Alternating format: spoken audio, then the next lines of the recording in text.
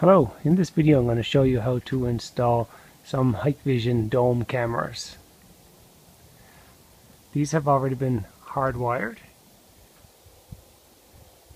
The wires are in place so I'm just going to be installing the cameras. So first of all I'll do a quick unboxing to show you what's, what's included here. You have a drone template, you have a CD and a manual I'd recommend downloading the latest software off the Hikvision website. You have your grommet or coupler for making a watertight seal once the camera is wired and installed.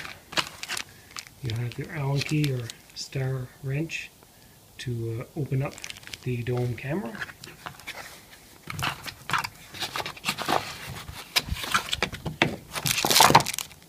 You have some screws to install the camera.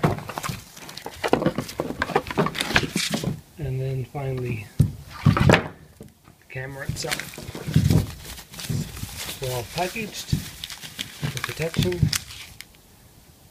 There's a bag of just to keep any moisture out.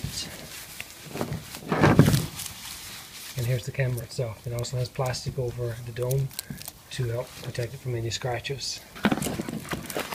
Just going to quickly look at the connections here. The RJ45 female, which is also responsible for the PoE, so you can inject power without running a separate uh, line to this camera. You have your AC line in case you don't have a PoE switch to power into the camera. And then you have these two for the alarm and for the audio. In my application I won't be hooking this up today. I'll just be uh, using the RJ45 PoE.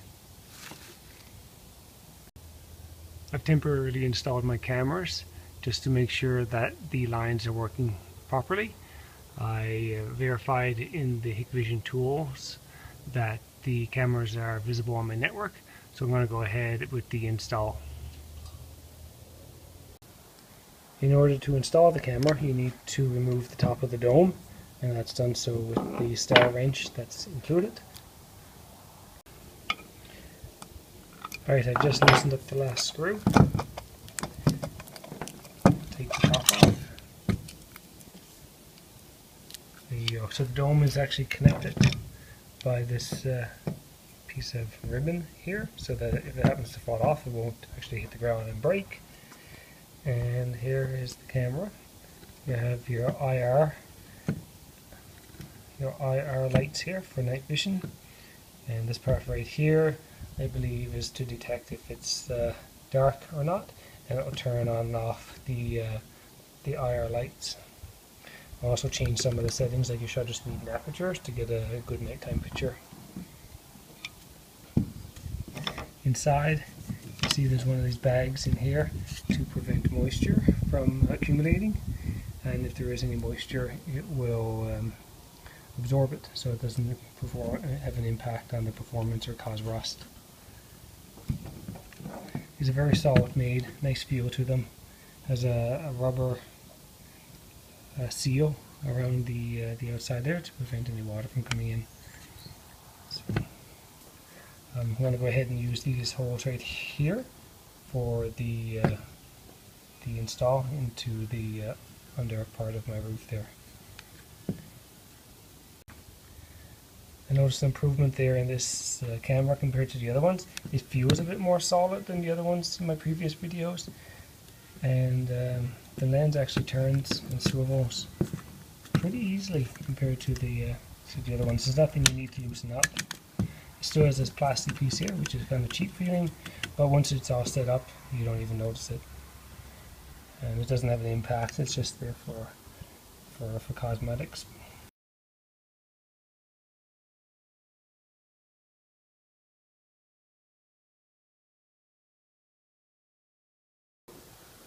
So I have that one camera installed, but yeah, I don't have it positioned correctly.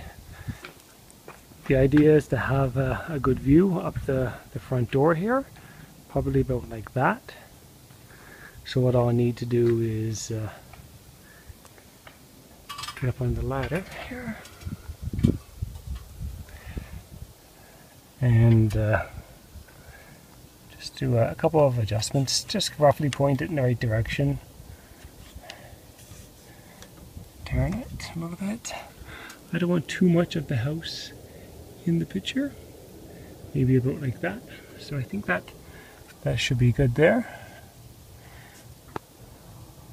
So I'll just leave it like that.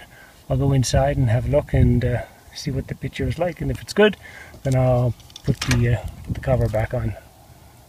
So I've already downloaded the Hikvision tools, started it up and go to the utility called SADP and you can see all of the cameras that are currently active on your network. Here you can change the IP address and the port for each of the cameras, which I've already done.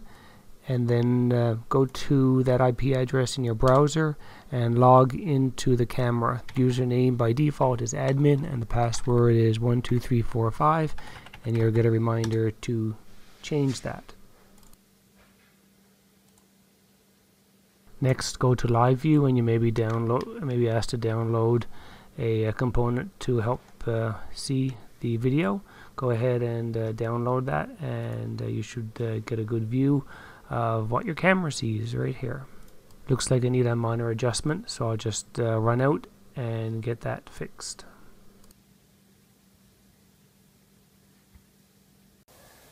So the camera needs a minor adjustment, a little bit higher.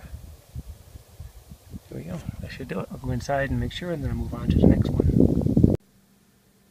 Perfect. This is exactly the view that I was looking for.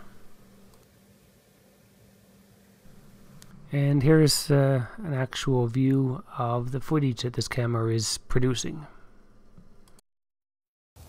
So since everything looks good on the inside, I just need to uh, cover this up. So basically all I need to do is place this on.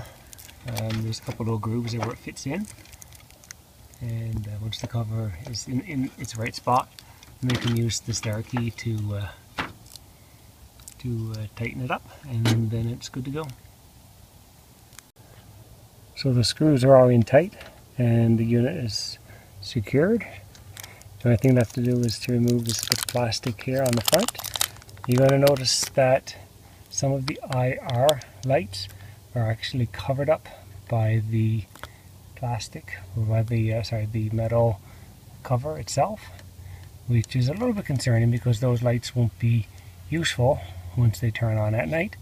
So ideally if you want to have your camera in a spot where all those lights are going to have access to your subject.